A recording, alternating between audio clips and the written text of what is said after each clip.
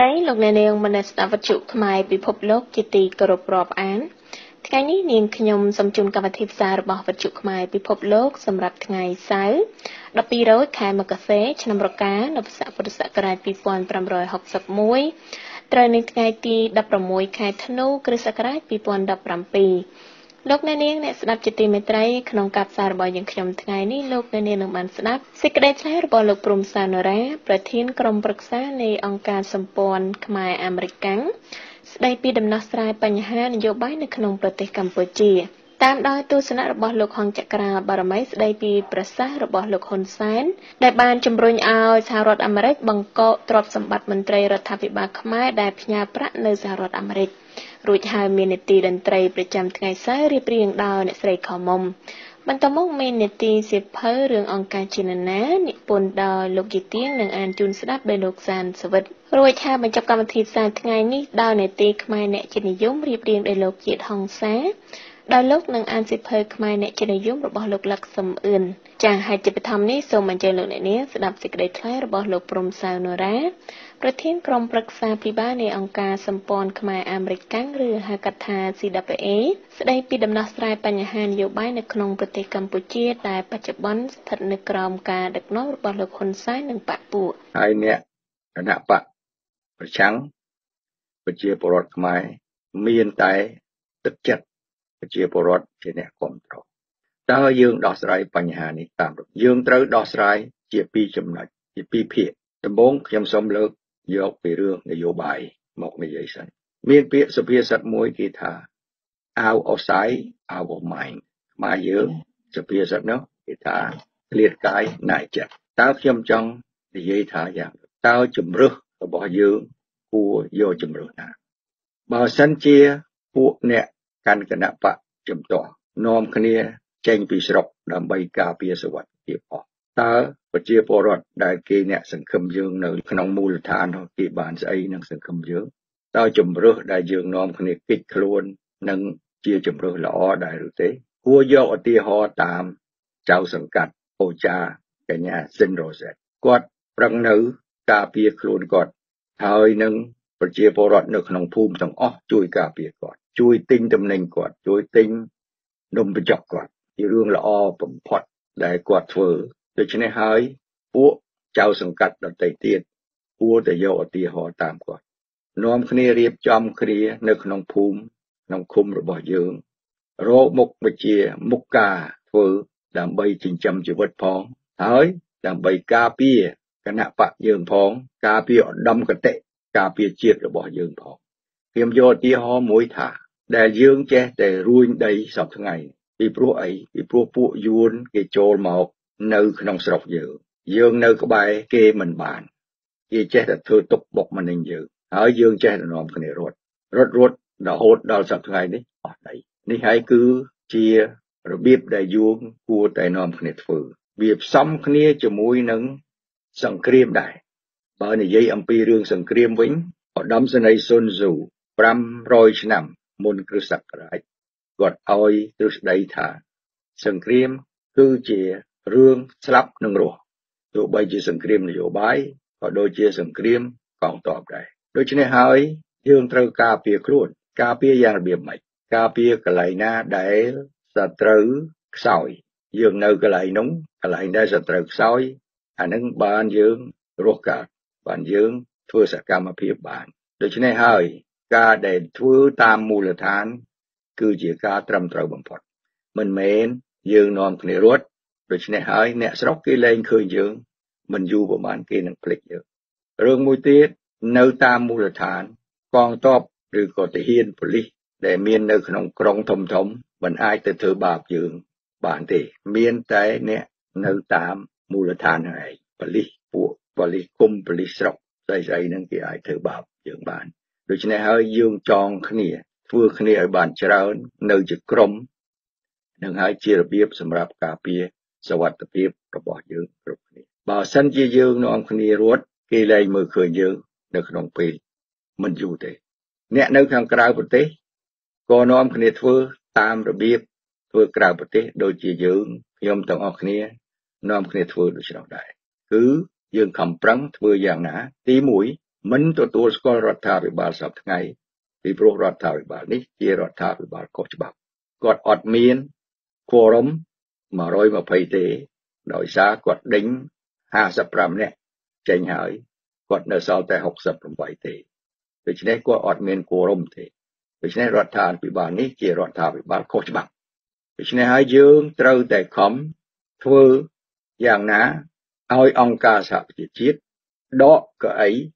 របស់រដ្ឋាភិបាលសប្តាហ៍នេះ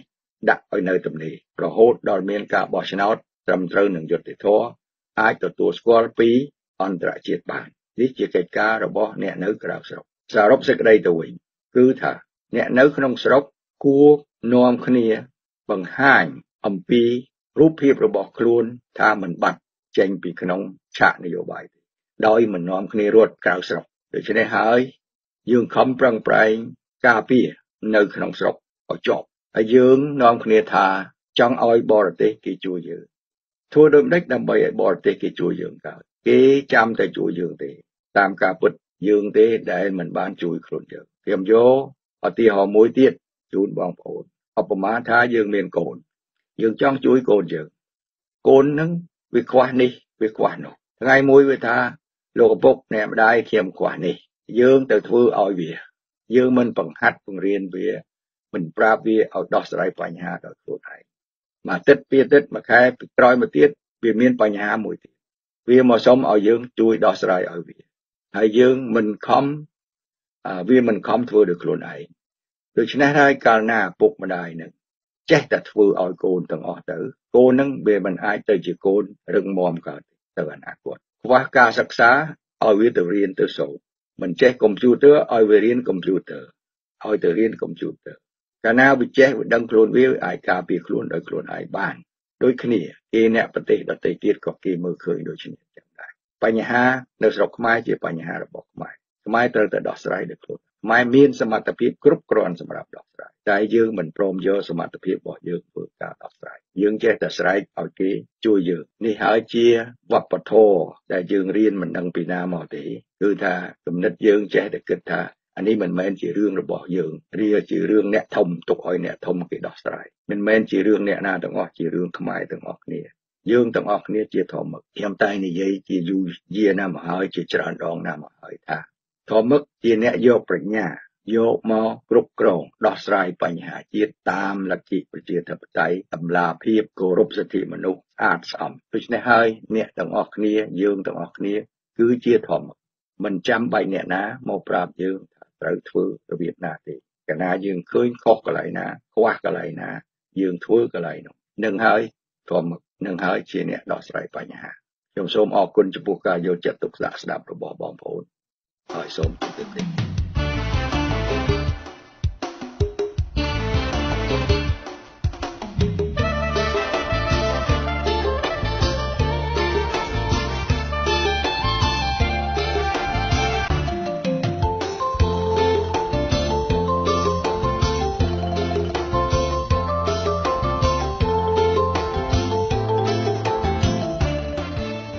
ចាកម្មវិធីផ្សាយបន្តបន្តមកទៀតនេះសូមអញ្ជើញលោកអ្នកនាងស្ដាប់លោកខងចក្រាបារមីបញ្ចេញមតិស្ដីពីប្រសាសន៍របស់លោកហ៊ុនសែន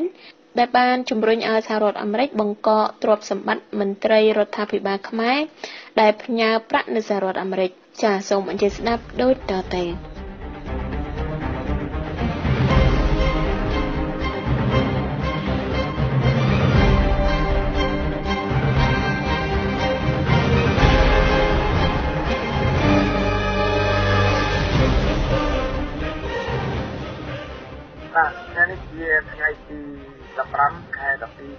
2017ដែលខ្ញុំបាទអង្គក្រាបអរគុណសូមជម្រាបសួរដល់លោកលោកស្រីប្រិយមិត្តដែលតាមស្ដាប់វិទ្យុខ្មែរពីលោកជារៀងរាល់ថ្ងៃទៅតាមប្រព័ន្ធអន្តរបណ្ដាញបាទខ្ញុំសូមជម្រាបដល់អស់លោកលោកស្រីថាបងប្អូនខ្លះដែលគាត់មិនបានដឹងអំពីបញ្ហាវិទ្យុខ្មែរពិភពលោកយើងគឺផ្លាស់ប្ដូរគឺផ្លាស់តែខាងចុងទេបាទផ្លាស់តែខាងចុងទេនៅខាងដើមនៅដដែលបាទគឺអឺ worldcommaradio.org org បាទតែប៉ុណ្្នឹងទេណាបាទហើយដូច្នេះគឺថាបងប្អូនបើកស្ដាប់ទៅឮដដែលហើយអឺលោកសន្តិវិទ្យាគាត់នឹងថែខ្លះពីរឿងប្រូក្រាមដូចជាឥឡូវគឺឃើញគាត់មានដាក់រូបថតអឺលោកណាអស់លោកណាដែលគាត់មានមតិនៅក្នុងយុគខ្មែរពិភពលោកនេះគឺគាត់ ដាក់ខ្ញុំសូមផ្ញើរូបថតទៅបាទសូមឲ្យផ្ញើរូបថតហើយនេះបងប្អូនមើលទៅឃើញហើយណាចង់ស្ដាប់រូបថតណាក៏បានដែរណារូបណានិយាយរឿងអីរឿងអីនេះគឺថាបងប្អូនស្ដាប់ទៅតាមនឹងទៅបាទហើយថ្ងៃនេះខ្ញុំសូមជូនព័ត៌មានខ្លីៗមួយសម្រាប់ឲ្យបងប្អូនស្ដាប់បាទគឺព័ត៌មានមកពីសម្ដេចនាយកតេជោហ៊ុនសែនបាទគាត់មានព្យុះសង្គ្រាមមួយទៀតហើយបាទ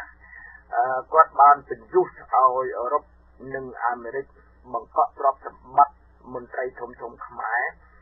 ដែលមានលុយយកទៅផ្ញើនៅក្រៅប្រទេសបាទគឺមានលុយនៅផ្ញើនៅក្រៅប្រទេសតែចំណែកលោកហ៊ុនសែនអឺគាត់អត់មានលុយផ្ញើនៅក្រៅប្រទេសទេគឺគាត់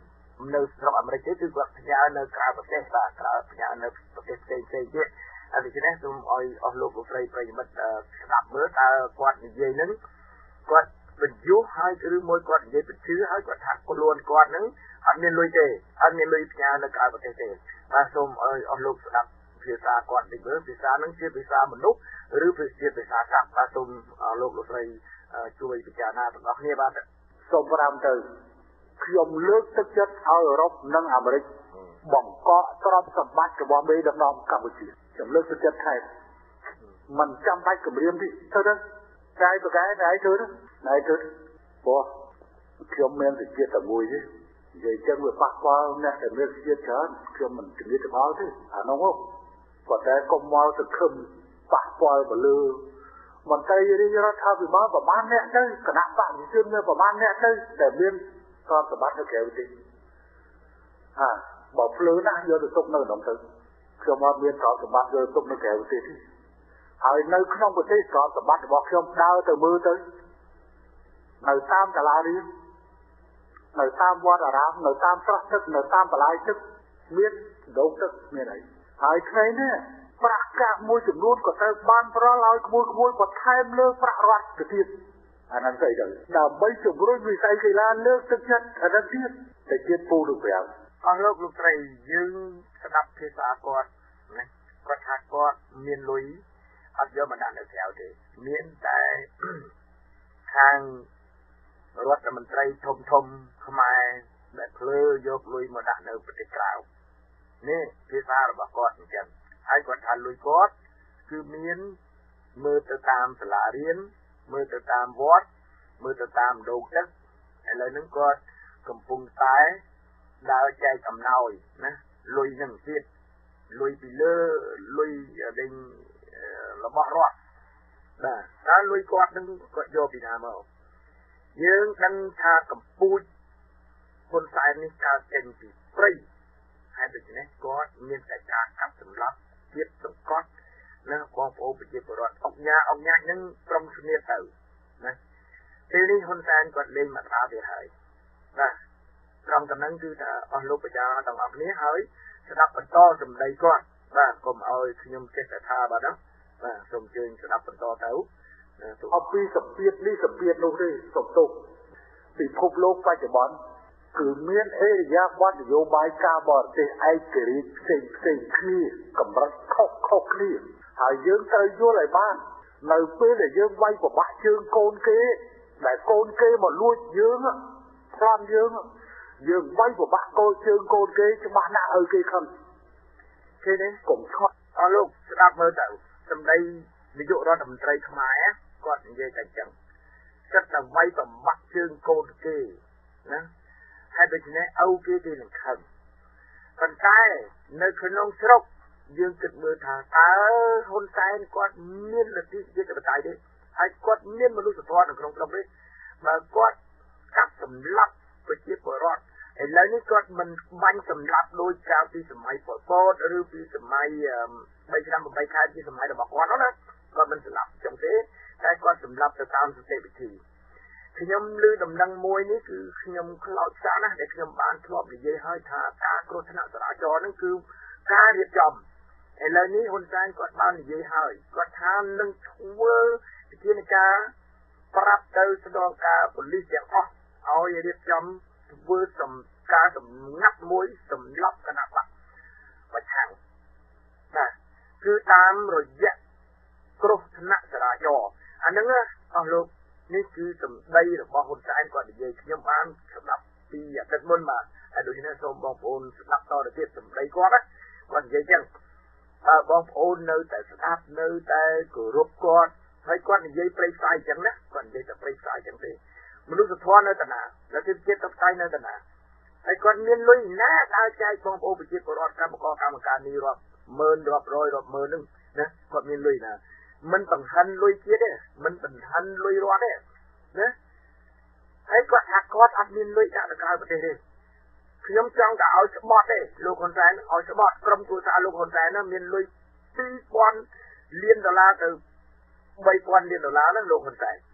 ខ្ញុំចង់តែឲ្យលោកហ៊ុនសែនឲ្យស្បត់ទេលោកហ៊ុនសែនកុំកុំកុំធ្វើនឹងធ្វើរបៀបអានេះវាយស្នាបើអើឯងទេណាលោកណាខ្ញុំដឹងល្បិចកលលោកហើយលោកមានលុយច្រើនណាស់ណាណាមន្ត្រីធំធំដែលនៅក្នុងជួគណៈបករបស់លោកហ្នឹងមិនមានលុយស្មើនឹងលោកទេតែលោកមានលុយច្រើនជាងគេបាទកុំមកកុហកកុំមកអោបបញ្ឆោតវាយឆ្នាបង្អើឯងទេលោកហ្នឹងបាទសូមស្ដាប់តទៅទៀតបាទហើយពេកអាហ្នឹងមកដឹងហើយ អាអ្នកដែលយើងវាយប្របាស់យើងកូនរបស់អ្នកណាបើយើងវាយប្របាស់ជើងកូនគេមិនឪគេមិនខឹងរឿងធម្មតាណាអាហ្នឹងរឿងធម្មតាបដិវត្តពណ៌អ្នកណាអ្នកបជាវរឿងធម្មតាខ្លាំងណាស់ហ្នឹងឪគេប្រតិកម្មដោយសារតែកូនគេត្រូវវាយប្របាក់ជើងក្នុងពេលដែលលូនចូលផ្ទះដាក់ប្របែកក្នុងផ្ទះយើងយកវាយប្របាក់ជើងឪគេខឹងវាជារឿងធម្មតា ប្រតិកម្មនេះប្រតិកម្មនោះអាងឯងជាប្រទេសធំអាងឯងជាប្រទេសមានប៉ុន្តែកុំភ្លេចថាអាប្រទេសក្រហ្នឹងវាក៏ចេះតស៊ូដើម្បីឯករាជ្យភាពរបស់វាដែរបាទអស់លោកលោកស្ដាប់មើលទៅណាគាត់ថាប្រទេសតូចតាចណាក៏ចេះការពារឯករាជ្យបរណភាពខ្លួនឯងដែរខ្ញុំចង់សួរថាបរណភាពត្រង់ណាអស់លោកបញ្ញាណាមើលទឹកដីចែកឲ្យចាក់កាត់ឲ្យគេអស់ហើយបាទកាត់អស់ហើយ នៅសល់តែប៉ុណ្្នឹងកូនដៃទេនៅទឹកដីនៅក្នុងកម្ពុជាហើយយើងនិយាយចឹងយើងនិយាយថាមានមានប្រទេសតូចក៏មានឯករាជ្យបរណភាពទឹកដីដែរហើយដូច្នេះគឺថាអស់លោកលោកបញ្ញាណាទាំងអស់គ្នាទៅនៅទៅខាងមុខយើងយើងអត់មានអីនៅទេបើយើងនៅតែគិតពីរឿងការចរចាក្តីការសន្ទនាក្តីជាមួយគណៈបកប្រជាជនជាគណៈបកចៅប្រិមត្តឲ្យបង្កើតដោយយួនហូជីមិញនេះណា យើងនឹងអស់ទឹកដីទៅអនាគតទៅខាងមុខសូមឲ្យហ៊ុនសែនងាកទៅមើលប្រវត្តិសាស្ត្រខ្មែរណាខ្ញុំឆ្ងល់ដែរលោកហ៊ុនសែនយើងដឹងហើយប្រវត្តិសាស្ត្រខ្មែរណាយួនយកក្បាលដំតែអង្គមិនក៏លោកមិនបង្រៀននៅវប្បធម៌នៅនៅនៅនៅនៅក្បួននឹងឲ្យកូនសិស្សខ្មែរយើងចេះដឹងផងណាប្រវត្តិសាស្ត្រនឹងឲ្យឲ្យខ្មែរយើងចេះដឹងផងបំបត្តិហើយ ខ្ញុំឆ្ងល់លោកហ៊ុនសែនរឿងអីការដែលលោកហ៊ុនសែនចង់យកអំណាចឬចង់មករំដោះប្រទេសកម្ពុជាពីខ្មែរក្រហមនឹងខ្ញុំដឹងល្បិចលោកហ៊ុនសែនរួចហើយលោកហ៊ុនសែនមិនមែនជាអ្នកមករំដោះទេ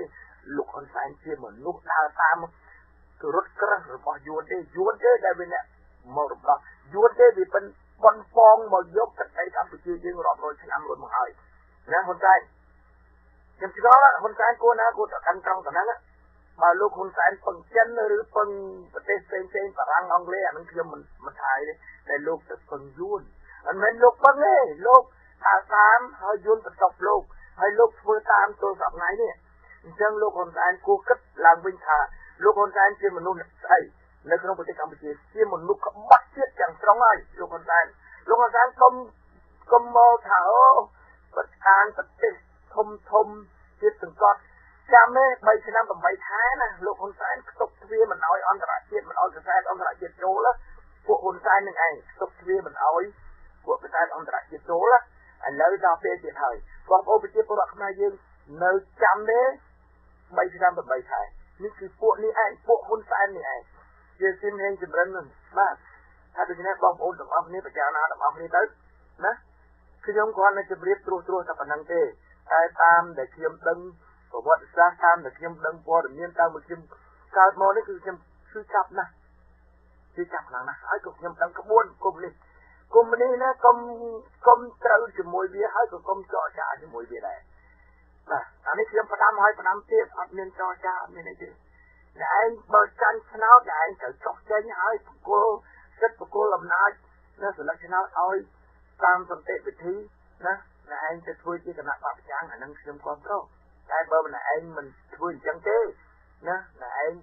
ចង់បើកទ្វារឲ្យចូលចរចាទៀតណាខ្ញុំអត់ព្រមដាច់ខាតខ្ញុំសូមជម្រាបខ្ញុំជឿនាងបងប្អូនប្រជាពលរដ្ឋទូទាំងប្រទេសទូទាំងពិភពលោកអត់ឲ្យគ្រប់គ្រងអ្នកឯងទេតែអ្នកឯងនឹងធ្លាក់ឆ្នោតនៅពេលហ្នឹងហើយអ្នកឯងនឹងចាញ់ហើយអ្នកឯងនឹងប្រហែលជាមានបញ្ហាដល់អាយុជីវិតក្រុមគ្រួសារទាំងអស់ផងក៏មិនដឹងនឹងទៅតាមហើយខ្ញុំសូមអំពាវនាវដល់អន្តរជាតិនៅពិភពលោក អាមេរិកក្តីយុរ៉ុបក្តីនឹងសូមគៀបសង្កត់ឲ្យខ្លាំងមែនទែនឲ្យហ៊ុនសែនឲ្យ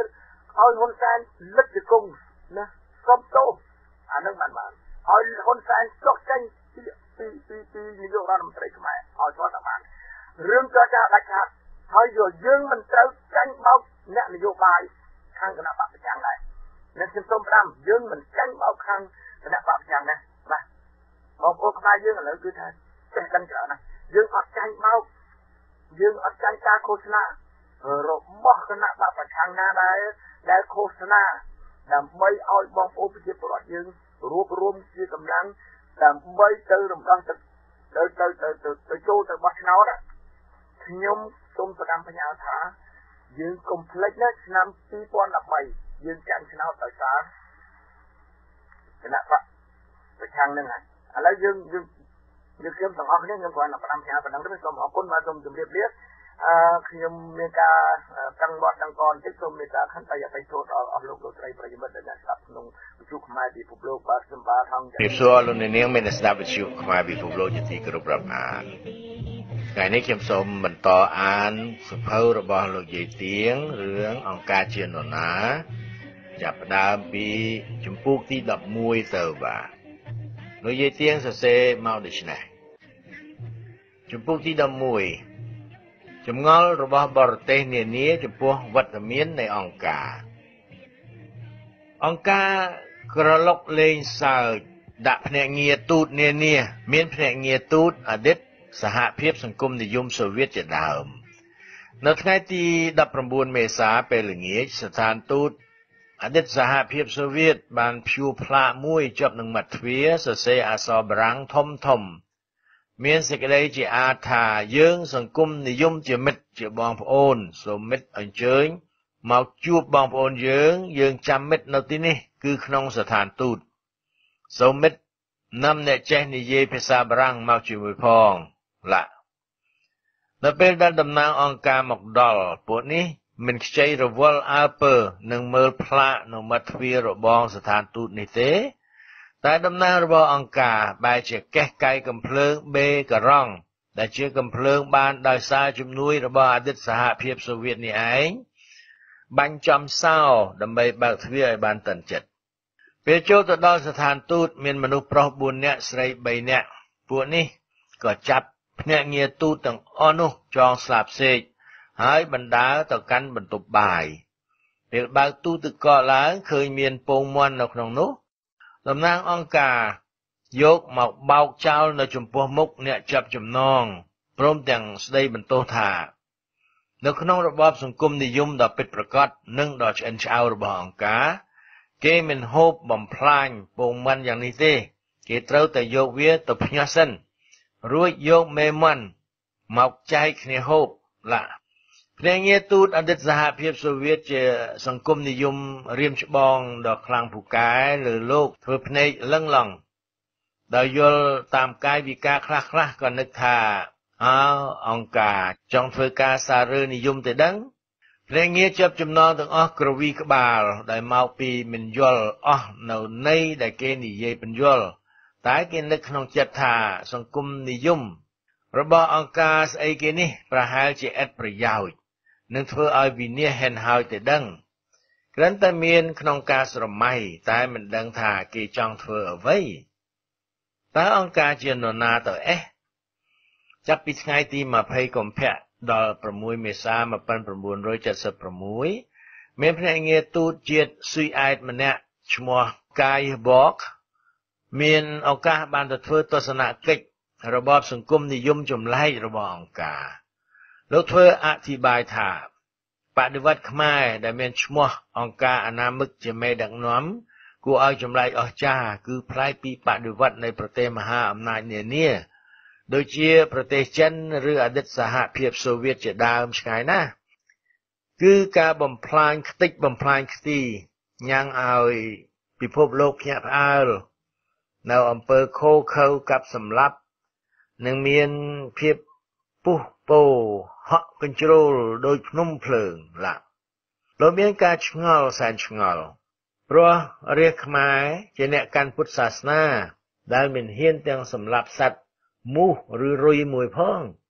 តើហេតុអ្វីបានជាមានការកាប់សម្លាប់យ៉ាងរងគៀលបែបនេះ អ្នកស្រីលូរ៉ង់ពីកជាតិបារាំងមានប្តីជាកម្មាភិបាលចិនខ្ពស់របស់ខ្មែរក្រហមឈ្មោះមិតសួងស៊ីគឿន បានត្រូវទទួលទារុណកម្មយ៉ាងធ្ងន់ពីសំណាក់របបអង្គការអ្នកស្រីនេះបានអះអាងធ្វើជាសាក្សីចំពោះអំពើខូខើរបស់របបនេះអ្នកស្រីថែមទាំងបានសរសេរអធិប្បាយយ៉ាងពិស្ដារនៅក្នុងឯកសាររបស់គាត់ទៀតផងជាសរុបសេចក្តីទៅអ្នកស្រីសរសេរបញ្ជាក់ថាអង្គការគឺជាបិសាចអាចចូលសន្ធិដ្ឋក្នុងបុគ្គលណាដែលលោភអំណាចដែលស៊ីជោ កាលបើបិសាចនោះចូលសន្ធិដ្ឋក្នុងបុគ្គលណាហើយបុគ្គលនោះភ្លេចអស់នៅម៉ែឪប្រពន្ធកូនញាតិមិត្តជាពិសេសជាតិរបស់ខ្លួនតួយ៉ាងដោយរឿងមិត្តសួងស៊ីគឿនប្តីរបស់អ្នកស្រីស្រាប់ ដែលធ្វើទរណកម្មលើប្រពន្ធកូនរបស់ខ្លួនឡាអ្នកស្រីបានបញ្ជាក់ទៀតថាសំបីតែឋានៈអ្នកស្រីជាភរិយារបស់កម្មាភិបាលចិនខ្ពស់ផង អ្នកស្រីទទួលទរណកម្មយ៉ាងវេទនារកពាក្យសរសេរមិនបានចុះទម្រាំដល់ប្រជាជនគ្មានបុណ្យស័ក្តិឬងារអ្វីនឹងគេនោះតើត្រូវរងទុកជាងនេះប្រមាណដងទៅទៀតអ្នកស្រីបានដំអូនថាគួរឲ្យអាសូរអ្នកដែលជួបប្រទះនឹងរឿងនេះណា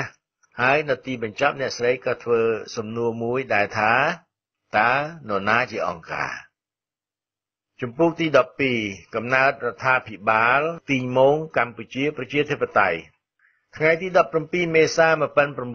1975អង្គការទទួលជ័យជំនះហើយចូលមកលុកលុយប្រទេសកម្ពុជាភ្លាម ជាដំបូងអង្គការច្រើនតែក្បាល ខ្មែរក្រហមនិន្នាការខ្មែរពីរក្រុមក្រុមទី1គឺបកខ្មែរក្រហមរបស់លោកខៀវសំផនក្រុមទី2គឺអតីតចៅ ដែលអង្គការកែច្នៃជាក្រុមខ្មែរក្រហមដែរនិងក្រុមទី3ជាក្រុមឃាតករអាចកំបាំងដែលរាជខ្មែរមិនស្គាល់ថាជាសាសអ្វីទេឃាតករទាំង3ក្រុមនេះអនុវត្តតាមបញ្ជារបស់អង្គការសម្រាប់ប្រជារាស្ត្រខ្មែរស្លូតត្រង់ជាពិសេសអ្នកចេះដឹងដោយគ្មានជំនុំជម្រះអ្វីទេសម្រាប់ក្នុងរយៈពេល10ខែអ្នកចេះដឹងស្លាប់ជិតអស់អ្នកដែលមិនទាន់ដល់វេនស្លាប់ ខ្លាចបាក់ស្បាតមានហ៊ានកម្រើកទើបអង្គការបញ្ចេញអតីតខ្មែរយៈមិញគឺសមាជិកបកប្រជាជនបដិវត្តខ្មែរអង្គការចាត់តែងជាស្រេចជាប្រធានសហគមន៍ជាគណៈតំបន់និងជាតំណាងរាស្ត្ររួចបន្លំប្រើយីហោខ្មែរក្រហមតទៅទៀតដែលមានជាឧទាហរណ៍ខ្លះៗដូចតទៅនៅថ្ងៃទី20ខែមីនាឆ្នាំ1976 ជាថ្ងៃជ្រើសរើសតំណាងរាស្ត្រអង្គការអនាមិកចេញបញ្ជាឲ្យហៅប្រជាពលរដ្ឋទាំងអស់នៅសហគមន៍លក់ជ្រាវឲ្យមកជួបជុំនៅក្នុងកងលេខ3ភូមិព្រៃស្វាយខាងលិចលុយជួបជុំជាច្រើនប៉ុណ្ណេះហើយ មានតំណាងរបស់អង្គការចុះមកពីថ្នាក់លើ ចេញបញ្ជាទាំងបង្ខំឲ្យប្រជាជនខ្មែរទាំងអស់លើកដៃយល់ព្រមចាត់តាំងមិត្តមូលសម្បត្តិ ហៅតាប៉ែតជាតំណាងរាស្ត្រនៅតំបន់ទី1តាប៉ែតមានមុខតំណែងមួយទៀតគឺគណៈតំបន់ទី1អង្គភាពជាមួយមិត្តរស់ញឹមហៅតាកៅលោកមានតំណាងរាស្ត្ររួចស្រេចបាច់ហើយគេក៏ប្រកាសបង្កើតរដ្ឋាភិបាលទី1នៅថ្ងៃទី14មេសា ឆ្នាំ1976គឺមួយឆ្នាំគត់ក្រោយថ្ងៃដែលអង្គការលុកលុយរាតត្បាតប្រទេសកម្ពុជា រីឯសមាជិកភាពនៃរដ្ឋាភិបាលនោះ គឺខៀវសំផនជាប្រធានសូភឹមអនុប្រធានរស់ញឹមអនុប្រធាននួនជាជាប្រធានគណៈកម្មការអចិន្ត្រៃយ៍នៅរដ្ឋសភាកាលពីសម័យប៉ុលពតនួនជាឬឡាវប៊ុនកូនឬឡុងរិទ្ធជាមេបញ្ជាការចិនខ្ពស់នៃកងទ័ពប្រជាជនបដិវត្តកម្ពុជា និងជាប្រធានការិយាល័យនយោបាយ ប៉ុល ពត បានត្រូវតែងតាំងជារដ្ឋមន្ត្រីទី1ទទួលបន្ទុក ផ្នែកការបរទេសអៀងសារី អនុរដ្ឋមន្ត្រីទី1ទទួលបន្ទុកការបរទេសអ្នកស្រីខៀវធីរិត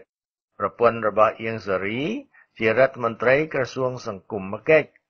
វ៉នវេតអនុរដ្ឋមន្ត្រីទី1ទទួលបន្ទុកផ្នែកសេដ្ឋកិច្ចនិងឧស្សាហកម្ម សឿនសេនអនុរដ្ឋមន្ត្រីទី1ទទួលបន្ទុកផ្នែកការពារផ្ទៃប្រទេសអ្នកស្រីយុនយ៉ាតប្រពន្ធសឿនសេន ជារដ្ឋមន្ត្រីក្រសួងអប់រំនិងវប្បធម៌ហ៊ូនឹមរដ្ឋមន្ត្រីក្រសួងឃោសនាការជួនជឿនរដ្ឋមន្ត្រីក្រសួងសុខាភិបាលក្រៅពីរដ្ឋមន្ត្រីទាំងនោះគេមានបង្កើតគណៈកម្មការ6ដែលនៅអបអនុប្រធានទទួលខុសត្រូវផ្នែកសេដ្ឋកិច្ច កសិកម្មឧស្សាហកម្មចំការកស៊ូពាណិជ្ជកម្មគមនាគមន៍និងធម្មពលគណៈកម្មការនេះមានសមាជិក5នាក់គឺប៉ុលពតទៀងសេរីសឿនសេនមិត្តនួននិងមិត្តយ៉ានមិត្តនួននិងមិត្តយ៉ានគ្រាន់តែជាឈ្មោះតែគ្មានមនុស្សត្រឹមត្រូវទេ ក្នុងរបបកម្ពុជាប្រជាធិបតេយ្យ អ្នកមានអំណាចយ៉ាងខ្លាំងហើយបញ្ចេញសកម្មភាពយ៉ាងអាចកំបាំងគឺប៉ុលពតនិងប្រពន្ធប្រពន្ធប៉ុលពតឈ្មោះខៀវប៉ុណ្ណារី ជាបងបង្កើតរបស់ខៀវធីរិទ្ធប្រពន្ធអៀងសេរី ជាអ្នកកាន់ក្តាប់អំណាចយ៉ាងខ្លាំងអស្ចារ្យក្នុងរយៈពេល5ឆ្នាំដែលធ្វើសង្គ្រាមខៀវប៉ុណ្ណារី បានត្រូវគេចាត់តាំងជាអនុប្រធានមេបញ្ជាការជាន់ខ្ពស់នៃកងទ័ពប្រជាជនបដិវត្តកម្ពុជាជំនួសប្តីនិងជាមេការិយាល័យទាហានចាប់តាំងពីថ្ងៃទី30កញ្ញា1972អ្នកស្រីបានត្រូវគេចាត់តាំងបន្ថែមជាអគ្គលេខាធិការបកកុម្មុយនីសខ្មែរបងប្អូនខ្មែរអើយមើលចុះរដ្ឋាភិបាលកម្ពុជាប្រជាធិបតេយ្យស្អីគេនេះ លើកបន្ទប់តែបងប្អូនប្តីប្រពន្ធពី3គ្រួសារចាត់តែងតាំងជារដ្ឋមន្ត្រី សមាជិកខ្លះមានតែឈ្មោះក្នុងក្រដាស់តែគ្មានមនុស្សទេ អង្គការច្នៃប្រឌិតបង្កើតឡើងយ៉ាងនេះដើម្បីបោកពិភពលោកនិងអន្តរជាតិឲ្យយល់ច្រឡំស្មានតែខ្មែរក្រហម គ្រប់គ្រងប្រទេសខ្មែរនិងមានរដ្ឋាភិបាលត្រឹមត្រូវរយៈវេលានោះ នៅក្នុងទឹកដីនៃប្រទេសកម្ពុជាបរិយាកាសសែនងងឹតអន្តការគ្មានរាជខ្មែរណាម្នាក់ដឹងថាមានបង្កើតរដ្ឋាភិបាល កម្ពុជាប្រជាធិបតេយ្យស្អីស្អីយ៉ាងនោះទេ គេមិនដែលឮខ្មែរក្រហមណានិយាយនឹកឈ្មោះខៀវសំផនហ៊ូនឹមហ៊ូយន់ឬឈ្មោះស្អីស្អីផ្សេងផ្សេងទៀតនោះឡើយ ឈ្មោះសឡុតសហៅប៉ុលពតប្រជាពលរដ្ឋខ្មែរក៏មិនស្គាល់តើតសោះចំពោះឈ្មោះសម្ដេចឪជាគូបដិបកជាមួយលន់នល់និងរាជខ្មែរណាដែលហ៊ានរំលឹកឈ្មោះនោះរានោះត្រូវស្លាប់ភ្លាមកម្មវិធីកំទេចបំផ្លាញប្រទេសខ្មែរកម្មវិធីសម្លាប់បំផុតពូជខ្មែរព្រមទាំងធ្វើទារុណកម្ម យ៉ាងឃោឃៅព្រៃផ្សៃដល់ប្រជាពលរដ្ឋខ្មែរក្នុងមួយនគរគឺធ្វើយ៉ាងម៉េចក៏ដោយឲ្យទៅដល់ស្លាប់ យើងឮថាគេធ្វើតាមបញ្ជារបស់អង្គការក្នុងរយៈពេល44ខែអង្គការគ្រប់គ្រងប្រទេសកម្ពុជា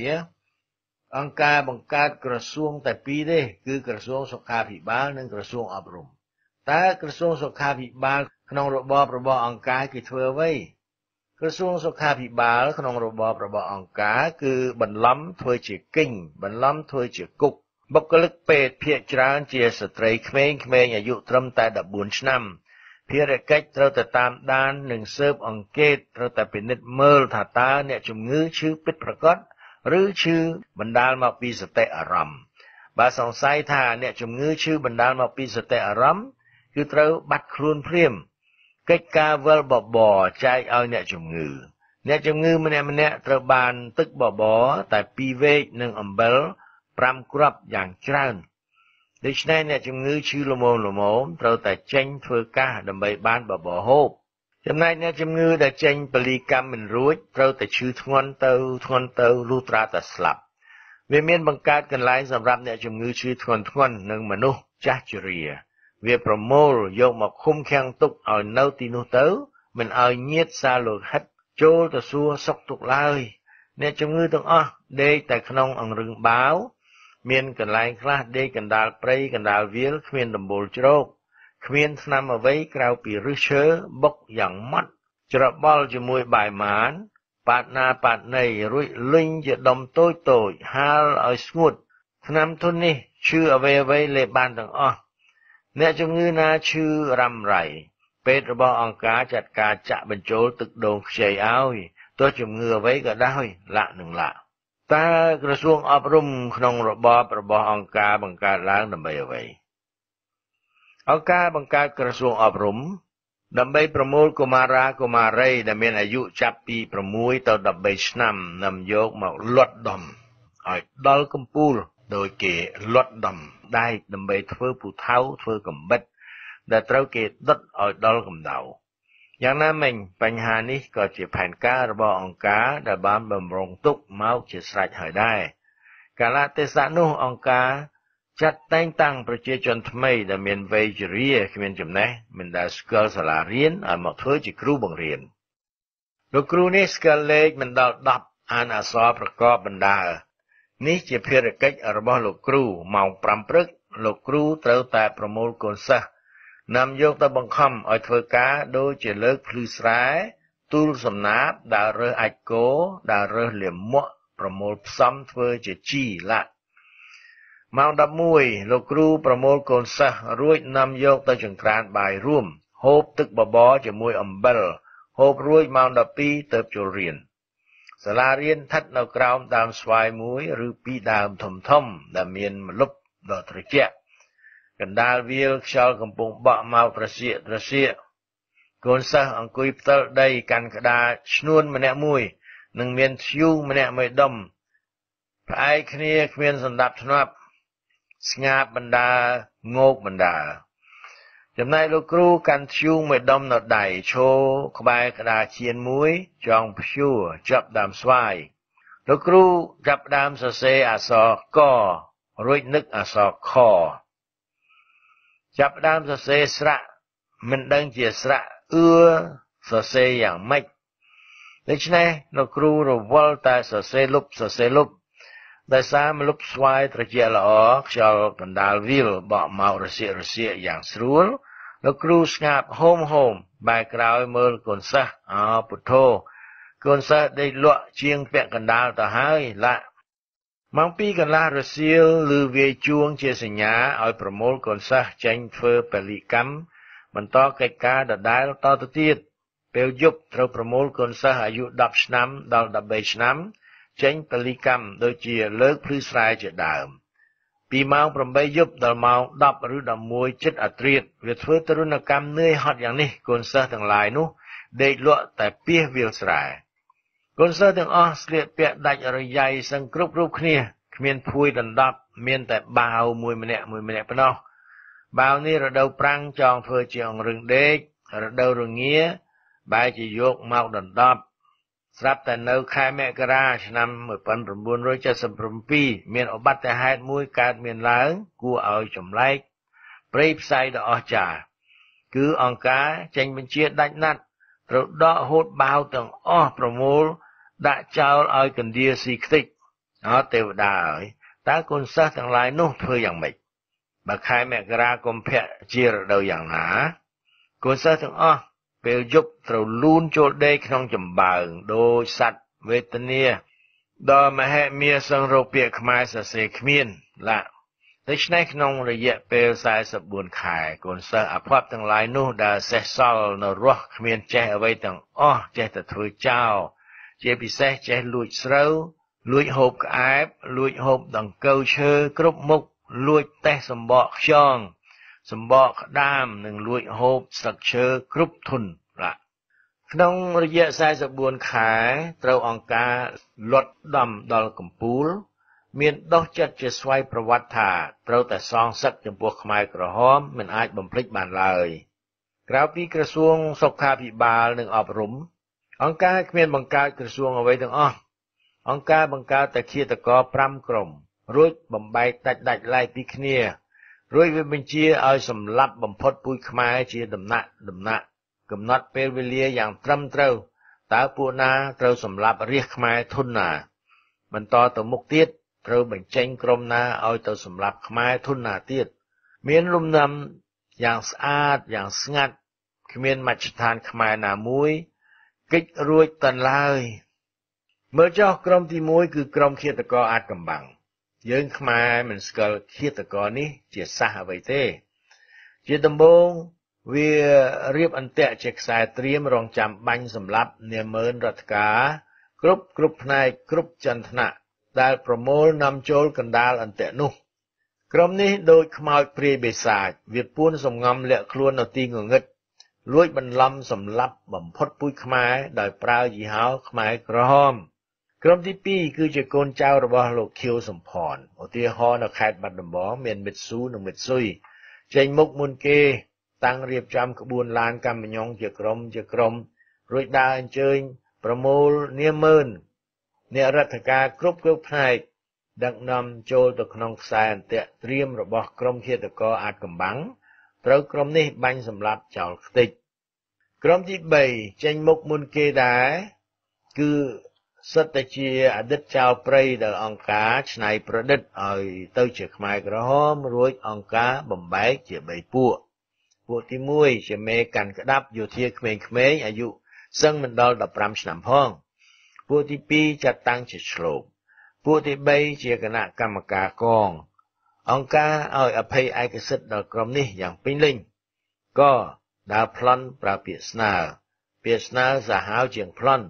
ពីព្រោះអង្គការចែងច្បាប់ការពារចោលដើរស្នើបើម្ចាស់ទ្របរឹងទៅទឹងបាញ់សម្លាប់ចោលចោលខអាចសម្លាប់រាជខ្មែរដោយសេរី តាមសាលក្រមកាត់ទោសរួចហើយទុកក៏មិនចំណេញយកចេញក៏មិនខាតគោប្រធ្វើទរណកម្ម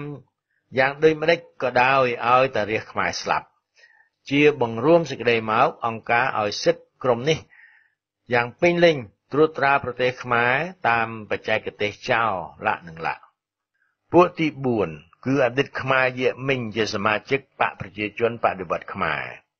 អង្គការបញ្ចេញក្រុមនេះ នៅដើមឆ្នាំ1976ចាត់តែងតាំងជាស្រេចជាប្រធានសហគរជាគណៈតំបន់បន្តមកជាតំណាងរាស្ត្រដែលមានតប៉ែតតកៅមិត្តលោកមិត្តលីនិងមិត្តលីដែលជាជាតិយួន កាន់នៅតំបន់ទី1នៃខេត្តបាត់ដំបង ដែលខ្ញុំស្គាល់និងឃើញច្បាស់នឹងភ្នែកពួកទី5គឺអតីតខ្មែរយៈមិញដែរកងកម្លាំងប្រដាប់អាវុធបដិវត្តឯកភាពរបស់ប្រទេសកម្ពុជាដែលសឹងងុកមិញទទួលបញ្ជាពីហូជីមិញ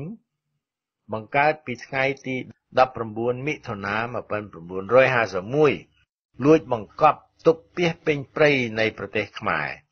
អង្គការបញ្ចេញក្រុមនេះជាចុងក្រោយបង្អស់នៅចុងឆ្នាំ1977ភារកិច្ចក្រុមនេះគឺរួមកម្លាំងជាមួយក្រុមឃាតករអាចកំបាំងបណ្ដាក់គ្នាសម្រាប់ខ្មែរក្រហមនិន្នាការខ្មែរមានមិត្តស៊ូជាដើមសម្រាប់គណៈកម្មការកងសម្រាប់ឆ្លូបដែលជាខ្មែរក្រហមកើតមកពីចៅជាពិសេសសម្រាប់យុវជនចល័តតាមសេចក្តីរាយរាប់ពីយុវជនខ្មែរដ៏ក្មេងម្នាក់ នាមត្រកូលនួន ជាកូនប្រុសតូលរបស់លោកនួនសមិន ជាចាំងវាងពន្ធនាគារខេត្តបាត់ដំបង មានខ្មែរក្រហម ម្នាក់លួចបណ្ដោះនាំយកទៅជាមួយយុវជននេះបាននិយាយអះអាងបញ្ជាក់ប្រាប់យាយទៀងផ្ទាល់ថាមុននឹងអង្គការបញ្ចេញឃាតករជាបន្តបន្តជាលំដាប់លំដោយឲ្យចេញមកសម្លាប់បំផុតពូជខ្មែរអង្គការកាត់ទោសជាមុនរួចស្រេចទៅហើយ អង្គការបញ្ជាឲ្យសម្លាប់ជាបន្ទាន់បំផុតដូចជានេតិហ៊ាននេតិហ៊ានរង និងទាហានគ្រប់គ្រប់ផ្នែកអ្នករដ្ឋការស៊ីវិលគ្រប់គ្រប់ផ្នែកគ្រប់គ្រប់ជាន់ថ្នាក់ដូចជាបុគ្គលិកពន្ធនាគារតុលាការក្រសួងគយនិមឺនរដ្ឋបាលសាស្ត្រាចារ្យគ្រូបង្រៀនគ្រូពេទ្យជាដើមលក្ខនឹងលក្ខពេលនោះមានមិត្តខ្លះលិនមាត់សួរថាហេតុដូចម្តេចបានជាសម្លាប់ពេទ្យសាស្ត្រាចារ្យនិងគ្រូបង្រៀន អង្គការធ្វើអត្ថាធិប្បាយវែងញែកថាសាស្ត្រាចារ្យនិងគ្រូបង្រៀនឃើញតែបង្ហាត់បង្រៀនកូនពួកសក្តិភូមិកូនពួកចក្រពត្តិនិងកូនពួកនេតុនលុះក្រុមនេះរៀនចេះចប់ក៏ប្រឌិតច្បាប់ជិះជាន់សង្កត់សង្កិនរាជខ្មែរក្រីក្រល្ងងខ្លៅតែប៉ុណ្ណោះឡាចំណែកបុគ្គលិកពេទ្យដូចជាវេជ្ជបណ្ឌិតជាដើមឃើញថែទាំមើលជំងឺតែសក្តិភូមិចក្រពត្តិនិងនេតុន យើងមិនដែលឃើញវេជ្ជបណ្ឌិតណាចិត្តល្អជួយមើលថែទាំអ្នកជំងឺជារះក្រីក្រឡើយពេលនេះយើងត្រូវតែកំតិចខ្ញុំកញ្ចេះនេះជាមុនលាក់នឹងលាក់មិត្តណាដែលមានអារម្មណ៍ឆ្ងល់យ៉ាងនេះក្រោយមកត្រូវបាត់ខ្លួនទាំងអស់សាលក្រមរបស់អង្គការអនាមិកនិយាយតែមាត់ទៅទេ គឺពំពីមាត់មួយទៅមាត់មួយទៀតតែប៉ុណ្ណោះច្បាប់របស់អង្គការអនាមិកបង្រៀនមិត្តមិត្តជាតំណាងគ្រប់គ្រប់ក្រុម ត្រូវរៀនស្ដាប់ចាំមាត់តែពាក្យមួយឃ្លាមួយឃ្លាគឺ ដូចជាផ្នែកបង្ខំឲ្យធ្វើការ មានមួយឃ្លាគឺនរណាហូបអ្នកនោះត្រូវធ្វើការផ្នែកសន្តិសុខមានមួយឃ្លាគឺ សម្រាប់មនុស្សសុចរិតប្រសើរជាងទុកសត្រូវឲ្យនៅរស់ផ្នែកតុលាការមានមួយឃ្លាគឺ ទុកក៏មិនចំណេញយកចេញក៏មិនខាតឧទាហរណ៍នៅខេត្តបាត់ដំបងអង្គការប្រើឈ្មោះសម្ដេចឪធ្វើជានុយ ធ្វើជាអាវុធអង្គការអាចប្រមូលនិមឺនខ្មែរទាំងស៊ីវិលទាំងទាហានគ្រប់ចន្ទថ្នាក់ដែលស្រឡាញ់សម្ដេចឪដឹកនាំយកទៅសម្លាប់ចោលបានយ៉ាងងាយមិនបាច់បង្ខំមិនបាច់ចងមិនបាច់ដាក់ខ្នោះគឺប្រើពាក្យតែមួយឃ្លាសូមអញ្ជើញអស់លោកទៅទទួលសម្ដេចឪគឺទៅស្លាប់បង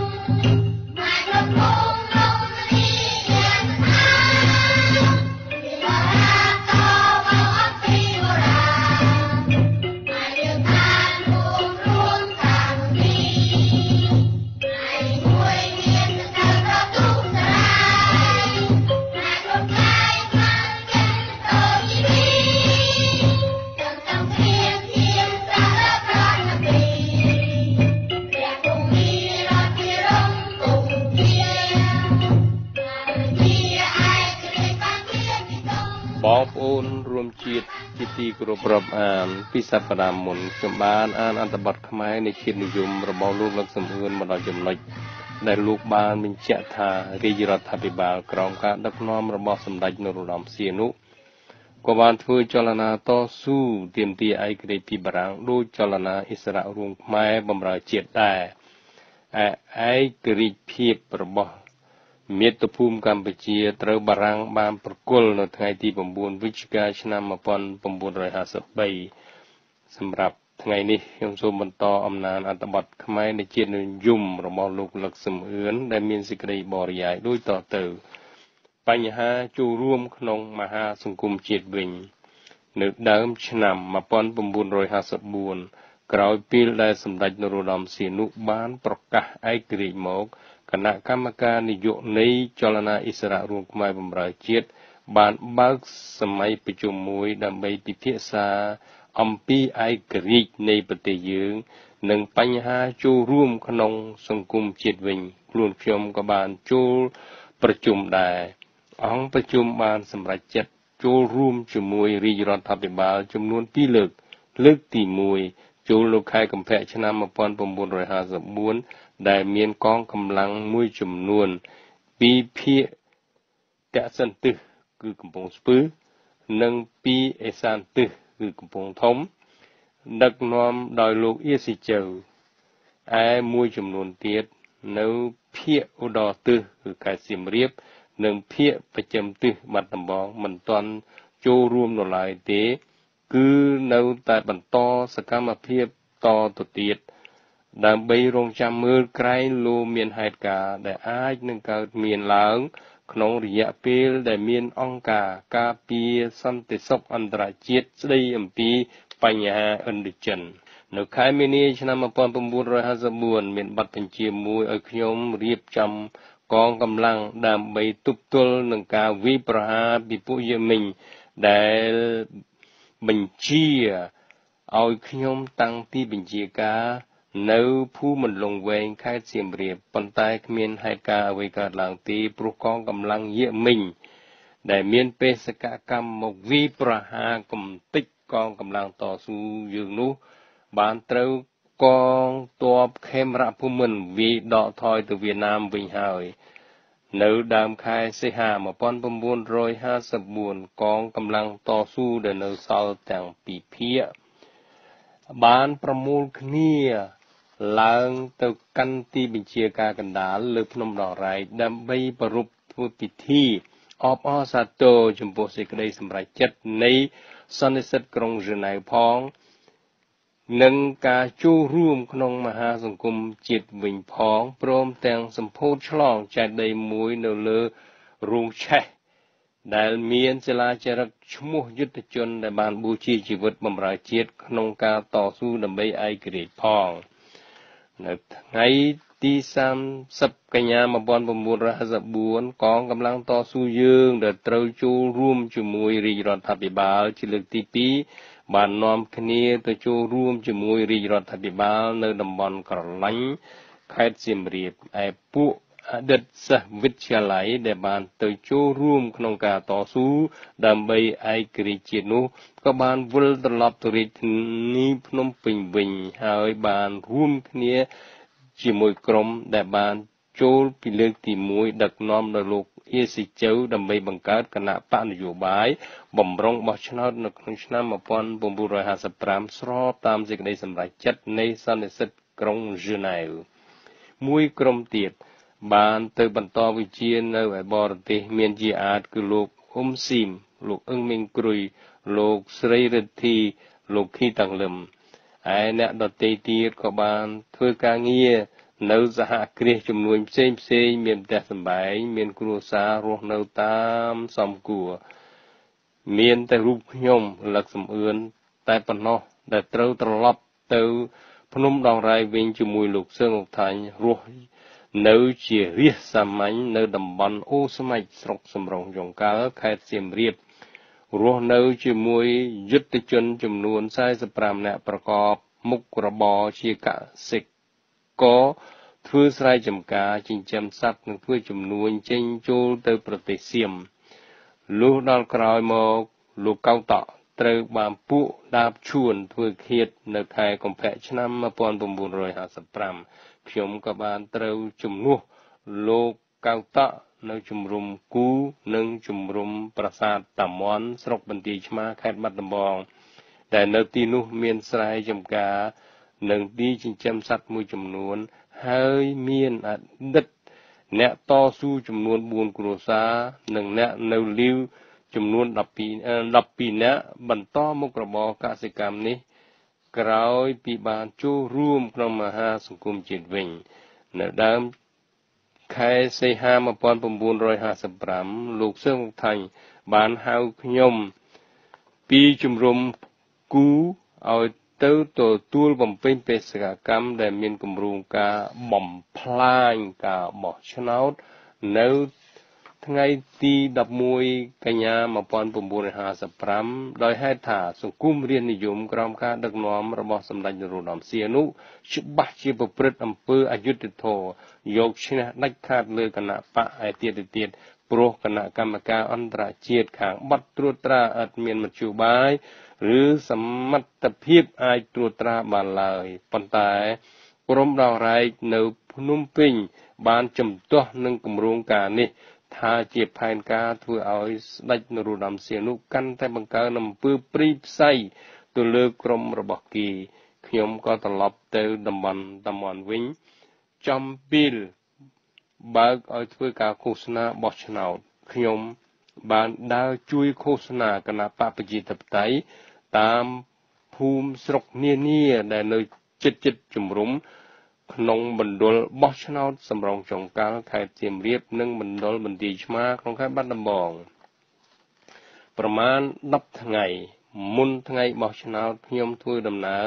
ទៅភ្នំពេញដោយមានសហការី5នាក់ជួនដំណើរដល់កំពង់ថ្កូវស្រុកក្រឡាញ់ខេត្តសៀមរាប ហើយរងចាំរហូតដល់ខ្ញុំត្រឡប់មកពីភ្នំពេញវិញ ត្រង់ភូមិថ្មីស្ថិតនៅជិតវត្ត ភ្នំទ្រង់បាទមុនថ្ងៃចេញដំណើរទៅភ្នំពេញខ្ញុំបានផ្ដាំលោកសុកមានដែលជាបញ្ជួយរបស់ខ្ញុំថា ទី1បើមានកងកម្លាំងរាជការមកធ្វើប្រតិបត្តិការនៅចិត្តជំរុំគាត់ត្រូវដកថយដោយយកសហការីទាំងអស់ទៅជំរុំប្រាសាទតំន់ព្រមទាំងយកសម្បត្តិទ្រព្យអ្វីអ្វីដែលអាចយកទៅជាមួយបាន ទី2ត្រូវជៀសវាងដាច់ខាតកុំ តទល់ដោយកម្លាំងអាវុធឲ្យសោះខ្ញុំបានទៅដល់ក្រុងបាត់ដំបងនៅថ្ងៃទី1កញ្ញាឆ្នាំ1955សម្រាប់នៅផ្ទះមេស្ថានីយ៍រថភ្លើងនៅក្រុងបាត់ដំបងសម្រាប់វចគាត់ជាខ្មែរកម្ពុជាក្រោមនិងជាមេខ្សែរយៈសម្ងាត់នៅបាត់ដំបងក្នុងសម័យតស៊ូសម្បត្តិវងចវិញស្អែកឡើងក៏ជិះរថភ្លើងអូតូរ៉ៃទៅភ្នំពេញសំណាក់នៅផ្ទះ គ្រូសាលោកសឿងវងថៃដែលនៅទីនោះ